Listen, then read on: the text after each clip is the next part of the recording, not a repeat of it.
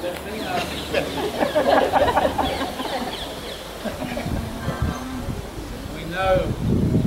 the circumstances that bring as one in Christ today. One your brother in the Lord Jesus. And this is a great joy.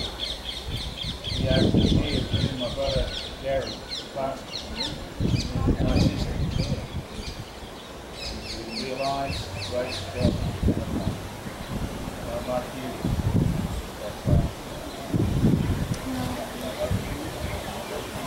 basis of of all your life.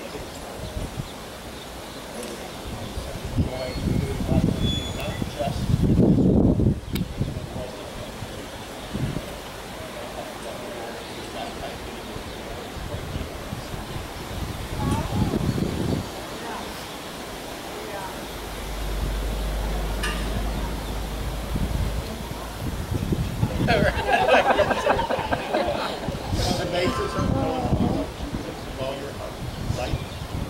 guess you gotta get this. Baptize you, sister in Christ.